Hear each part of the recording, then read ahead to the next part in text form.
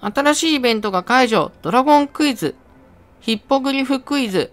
スフィンクスクイズっていうのがあるからちょっとやってみようと思います。では、スフィンクスクラブから行ってみようかな。エネルギーここでもね、回復できます。時間が来たらね、この扉のマーククリックすればいいのかな一気にワープしちゃった。スフィンクスクラブの部屋っていうところに入れるのか。なるほど。スフィンクスクラブの部屋。うわ、こんなところか。これ初めてだからちょっと見よう。ここで誰かと握手してやる。これ右進めない。はい、やってみよう。スフィンクスクイズ。招待する。バティアの友情を上げれる感じですね。確定。210。これスフィンクスレベル上げたらいろんな人誘えるようになるのかもしれない。クラブのために描きたいの。喋りながら描くと良い絵が描けるから、描きながらあなたにクイズを出してもいい？ポラリスは何としても知られてる？わかんない全然。マジか。これ私がバカなのバレちゃうじゃん。普通の、いて座、こっち、いやー、北極星なんだ。いや、これみんな知ってるかもしんないな。間違えても、あ、わざと間違えた方がいいんだ。私一回しかできない、これ。もうすごいわちゃめ。あなたと話したことで良い絵が描けたわ。わあ、最悪だ。私のね、左下見て、属性レベルが、レベルが高すぎてね、何選んでも、しかも、見て、75、85、100、めっちゃ経験値もらえるじゃん、スフィンクスクラブの。これはめちゃめちゃ美味しいね。この左上のところからタップすると、ほら、レベル9とか、レベル9とかあるけど、この経験値がめちゃめちゃ溜まる。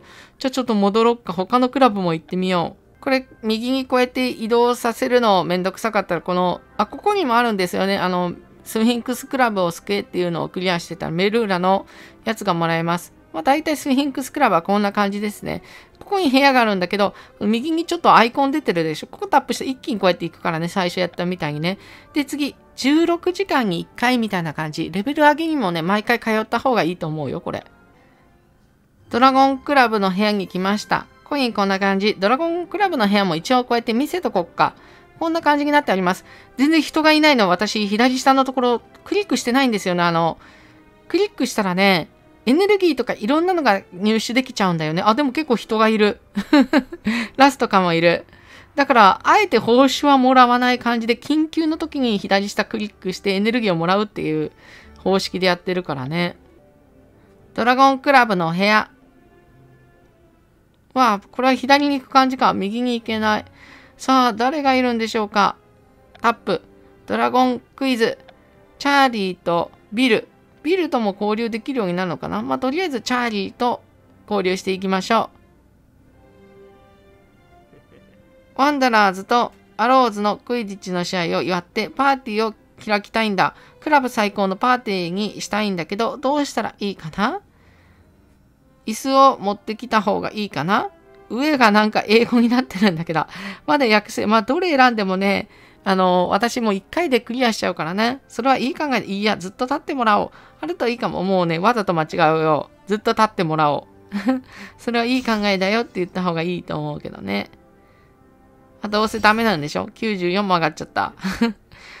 試合の結果がどうであれ、ドラゴンクラブの皆に楽しんでもらえるといいな。ありがとう、チョメ。あ、正解した場合どうなるかっていうのも見てみるか。ほらほら、経験値がめっちゃ美味しい。あ、ちなみに友情レベル最大でも上がって、報酬もらえるからね、それクリアしたら。よし、次行こっか。ヒッポグリフクラブの部屋に来ました。ここにもらえるところがある。時間で回復する感じですね。ここも全然人が増えてないね。全然。本当はもっと見せたいんだけどね。なんか足湯みたいな感じしてる。わあ、キノコが生えてるの全く同じか。はい。ヒッポグリフクイズ。ヒッポグリフクラブの部屋。次の時間制限クエストで左下開放して一気にやろうかなと思ってる。あ、キノコが生えてる。ここでやるのか、ペギーとか出てきそう。私の予想当たるよ、絶対。ほら、ペギーとリズだ。これ最初はペギーにしよう。はい。205。推奨される属性は22、24、23。まあ、誰でもできる感じですね。ヒッポグリフクラブの新メンバーのために植物クイズを作ってるの。難易度を確認したいんだけど、手伝ってくれないかい？ペギーの植物クイズを受ける。バラはいつ咲く ?2 ヶ月後。6から8週間後。3週間後。これ微妙に難しいんだけど、バラか。結構早く咲くのかな？うーんとね、3週間後と6、8週間後。3週間で咲くか、バラ。真ん中なんだ。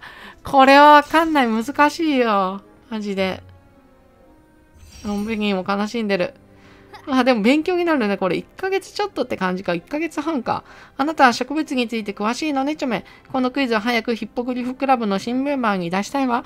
でもこういう問題結構いいと思うわ。本当に。はい、ゲット。まあ、そんな感じでクイズをやっていきました。最後までご視聴ありがとうございました。実況者はチャメでした。じゃあね、バイバイ、ありがとう。ちなみに左下のちょっとタップしてみるよ。こんな感じ、おめでとうございますって、一気にもらえちゃうんだよね、ランクアップのやつがね。